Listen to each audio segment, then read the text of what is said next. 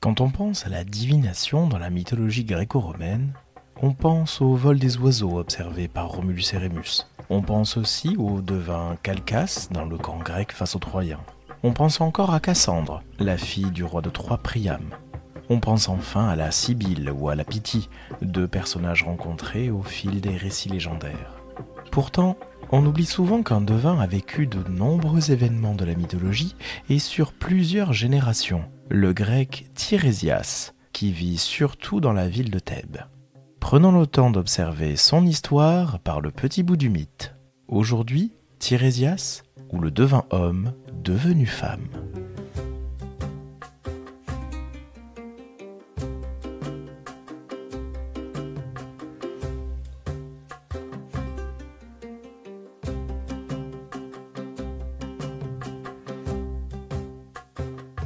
Tirésias est le fils de la nymphe Chariclo et d'Évérès, un descendant d'un des Spartes. Ce nom vous dit quelque chose?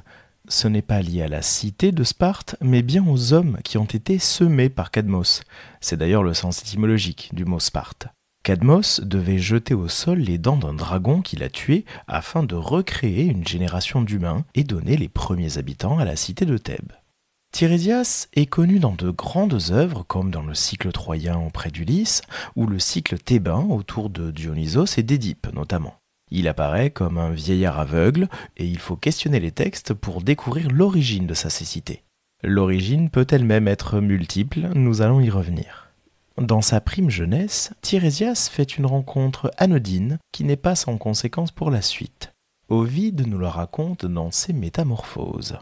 Un jour que deux grands serpents s'accouplaient dans une verte forêt, il les avait frappés d'un coup de bâton. Alors, au prodige, d'homme il devint femme, et il resta pendant sept automnes. Au huitième, il les revit.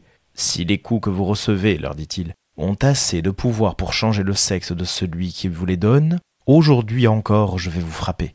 Il frappe les deux serpents, aussitôt il reprend sa forme première et son aspect naturel. Cette histoire est la seule qui nous compte un changement de sexe à deux reprises, et certains auteurs rapportent même que la transformation aurait eu lieu à de nombreuses reprises. Mais les textes qui développaient cela n'ont été conservés qu'à travers de petits résumés. En tout cas, c'est cette transformation qui fait de Tirésias un être assez particulier pour devenir juge d'une querelle entre Zeus et Héra. Ovide poursuit. Il arriva que Jupiter, épanoui, dit-on, par le nectar, déposa ses lourds soucis pour se divertir sans contrainte avec Junon, exempte elle-même de tout tracas. Assurément, lui dit-il, vous ressentez bien plus profondément la volupté que le sexe masculin. Elle le nie. Il convient de consulter le docte Tirésias, car il connaissait les plaisirs des deux sexes. Donc, pris pour arbitre dans ce joyeux débat, il confirme l'avis de Jupiter.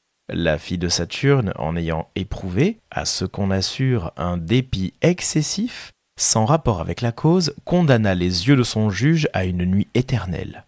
Mais le Père Tout-Puissant, car aucun Dieu n'a le droit d'anéantir l'ouvrage de notre Dieu, en échange de la lumière qui lui avait été ravie, lui accorda le don de connaître l'avenir et allégea sa peine par cet honneur. Tirésias, dans les villes de Laonie, où s'était répandue partout sa renommée, donnait ses réponses infaillibles au peuple qui venait le consulter. Il existe une autre explication pour la cécité de Tirésias, cette fois-ci rappelée par le poète Callimaque dans son hymne sur les bains de Pallas, la déesse Athéna. Et voici le texte.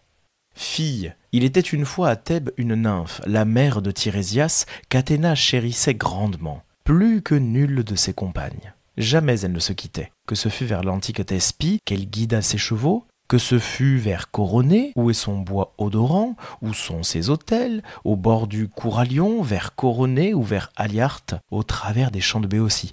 Souvent la déesse lui faisait place sur son char. Ni les causeries de ses nymphes, ni leur cœur de danse ne lui plaisaient si Chariclo ne les menait. Mais elle devait pleurer bien des larmes, toute compagne chérie qu'elle fut pour Athéna. Un jour, elles avaient délié leur péplos près de la source Hippocrène aux belles eaux. Elles se baignaient. Sur la colline, c'était le silence de midi. Elles se baignaient toutes deux, et c'était l'heure de midi, et le silence profond régnait sur la colline. Tirésias seul, avec ses chiens, jeune homme au duvet mûrissant, promenait ses pas en ce lieu sacré. Altéré, tant qu'on ne put dire, il s'approcha des eaux courantes. Sans le vouloir, il vit ce qu'on ne doit voir Pleine de colère, Athéna pourtant lui parla.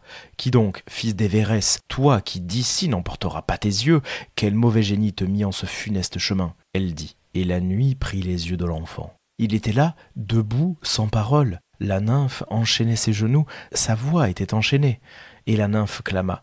Qu'as-tu fait de mon fils vénérable? Est-ce ainsi, déesse, que vous nous êtes amis? Tu m'as pris les yeux de mon fils, ô mon enfant infortuné. Tu as vu le sein et les flancs d'Athéna, tu ne reverras plus le soleil. Malheur sur moi. Ô mon, ô Hélicon, terre que je ne foulerai plus, tu as gagné beaucoup en donnant peu. Oui, pour avoir perdu quelques daims et quelques fans, tu tiens les yeux d'un enfant. Et la mère, entourant son fils de ses bras, poussait, avec des pleurs lourds, la plainte gémissante du rossignol. La déesse, prenant en pitié sa compagne, lui dit alors ces mots. Femme divine, rappelle, retire toutes ces paroles que t'inspira la colère. Non, ce n'est pas moi qui fis ton fils aveugle. Non, Athéna ne saurait se plaire à ravir la lumière à un enfant. Mais c'est la loi antique, la loi de Chronos. Qui verra quelqu'un des immortels contre son vouloir paiera cette vue d'un prix lourd. Femme divine, ce qui s'est fait ne peut être révoqué. Les moires à ton fils ont filé tel destin, au jour même que tu l'enfantas. Et donc, fils d'Évérès, reçois le paiement qui t'est dû. Ami, cesse ta plainte. Je lui réserve, pour l'amour de toi, bien d'autres faveurs. Je ferai de lui le devin qui dira l'avenir à ceux qui viendront, plus pleinement prophète que nul des autres. Il connaîtra le vol des oiseaux, et le favorable et l'indifférent, et celui aussi dont le présage est funeste. Il rendra bien des oracles aux Béotiens et à Cadmos, et après lui au puissant Labdacide.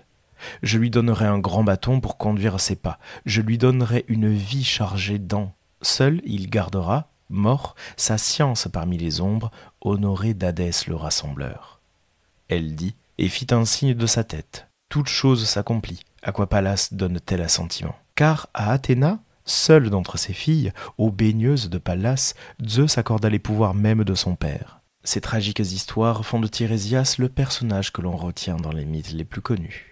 Très attaché à la cité de Thèbes, Tirésias s'y établit avec ses enfants Manto et Daphné. Certains mythes ajoutent aussi Historis, mais nous ignorons tout de la jeunesse de ces enfants et le nom même de leur mère s'est perdu. Ce qui est certain, c'est que Tirésias n'a pas lui-même donné naissance à ses enfants. Il l'affirme dans un dialogue avec le philosophe cynique Ménippe, dans un bref texte de Lucien le Samosate, extrait des dialogues des morts. Ménippe. As-tu jamais enfanté quand tu étais femme Ou as-tu été stérile et sans enfant tout le temps de ta vie féminine? Tirésias. Je n'étais point stérile, quoique je n'ai pas eu d'enfant. La réponse de Tirésias semble claire, mais le philosophe tente d'en savoir davantage sur la physionomie féminine de Tirésias et d'en comprendre les étapes de la transformation. Il reste bien curieux. Parmi les grands personnages que croise Tirésias, on compte Dionysos, au moment où il voyage dans le monde pour exposer sa divinité et rendre son culte universel.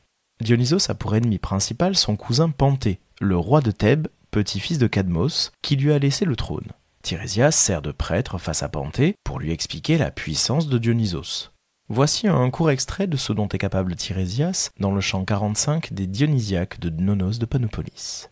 Tirésias fait un sacrifice à Dionysos préservateur, après avoir dressé un autel pour conjurer les sacrilèges de Panthée et éloigner la colère implacable de Liaos. Mais il supplie en vain car l'heure est venue pour le fil du destin.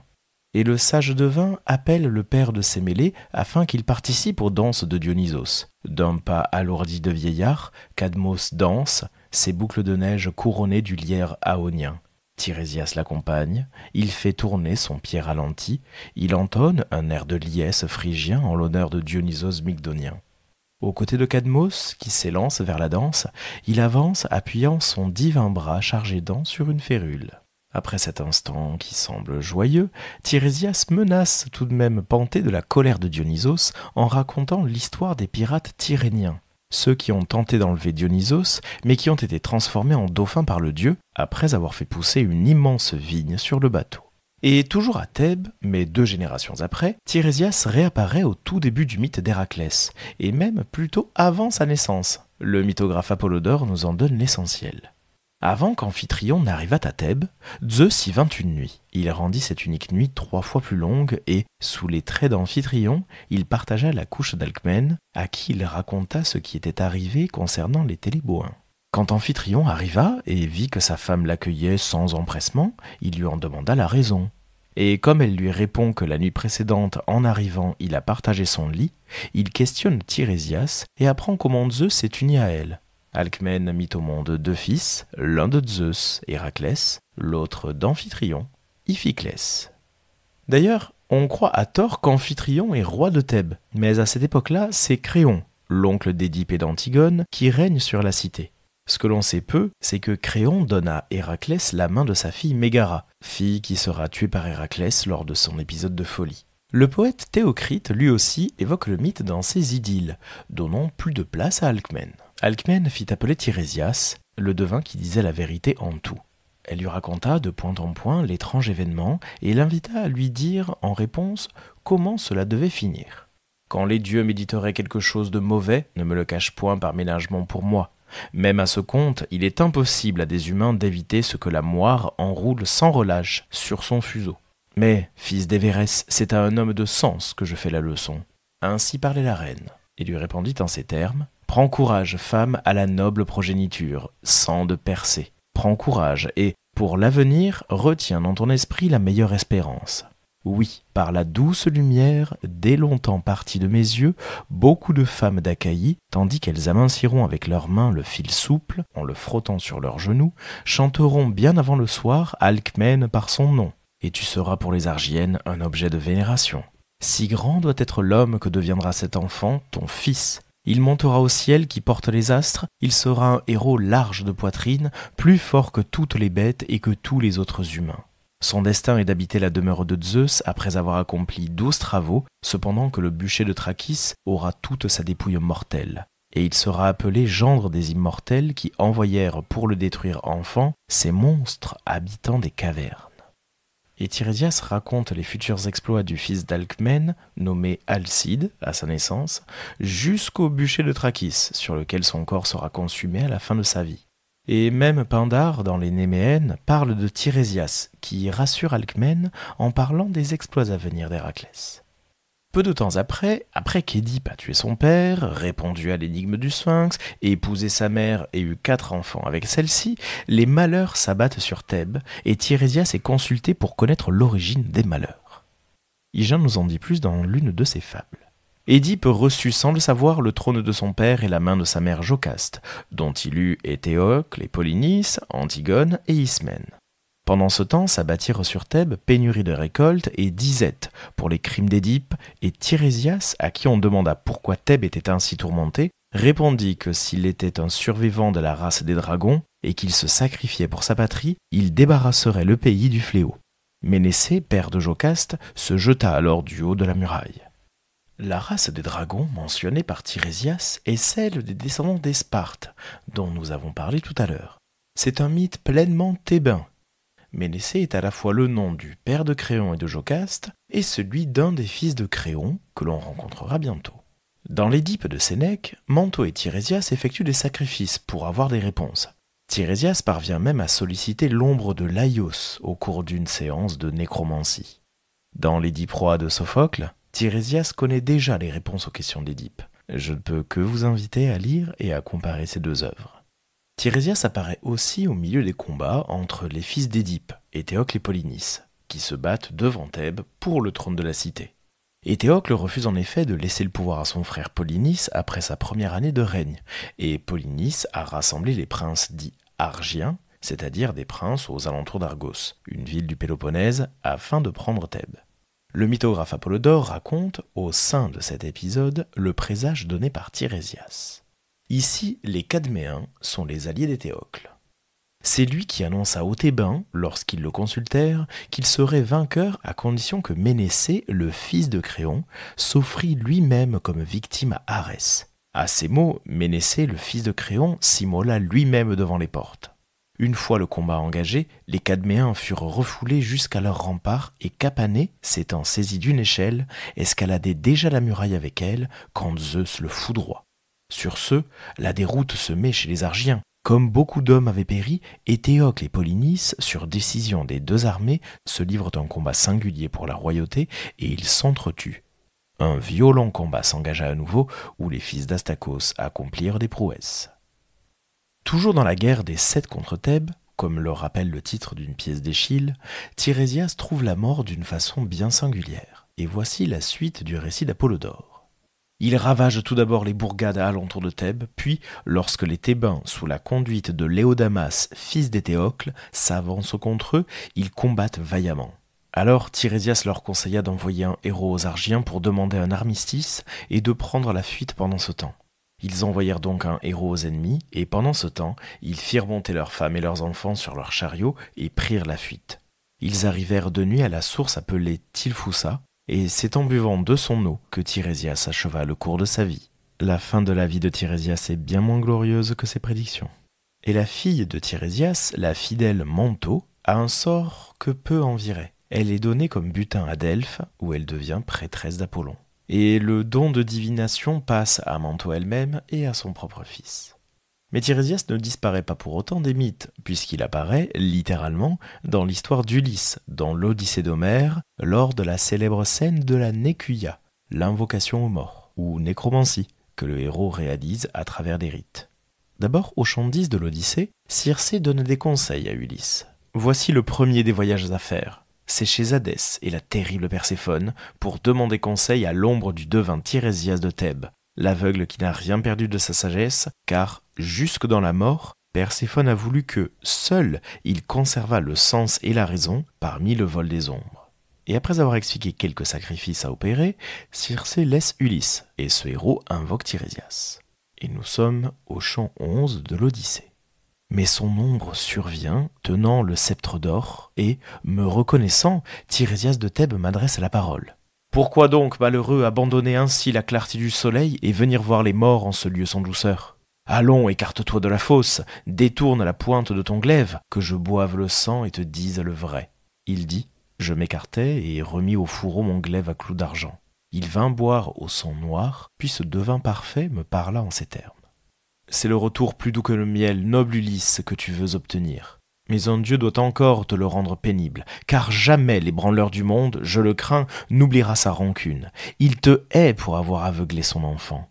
Et pourtant, il se peut qu'à travers tous les maux, vous arriviez au terme, si tu sais consentir à maîtriser ton cœur et celui de tes gens. Et Tirésias conseille déjà à Ulysse de prendre soin des vaches du soleil, ces vaches que ne respecteront pas ses marins. Et il annonce aussi les problèmes de la cité d'Iolcos, le royaume d'Ulysse, puisque des prétendants essaient d'épouser Pénélope. Et Ulysse les tuera. Ulysse l'interroge encore sur le sort de sa mère, et Tirésias lui répond. C'est facile à te dire et tu vas le comprendre. Si parmi ces défunts qui dorment dans la mort, il en est que du sang tu laisses approcher, tu sauras de la vérité. Mais dans les rêves, les autres rentreront, aussitôt refusés. Voilà ce que me dit le roi Tirésias, et son ombre rentra au logis d'Hadès. Il était arrivé au bout de ses oracles. Et ce dernier oracle reste tout de même difficile à comprendre. Ulysse parvient tout de même à parler à sa mère. Et c'est ainsi que s'achève notre parcours dans l'histoire de Tirésias, un devin qui aura connu bien d'horribles histoires, notamment autour d'Édipe et de sa famille. Et c'est un personnage qui restera entre hommes et femmes et entre divin et humain jusque dans la mort. Merci d'avoir écouté cet épisode du podcast par le petit bout du mythe. N'hésitez pas à vous abonner à ce podcast sur votre plateforme de streaming préférée et à laisser 5 étoiles sur Apple Podcast et Spotify. Partagez cet épisode sur les réseaux sociaux pour que nous soyons toujours plus nombreux à faire vivre ces petites histoires de la mythologie. Vous pouvez prolonger l'aventure en lisant certains ouvrages qui ont été cités. Je vous mets la bibliographie en description et dans l'article du jour sur le site du podcast. Le tout accompagné d'un dossier documentaire. A bientôt pour un nouveau coup d'œil par le petit bout du mythe.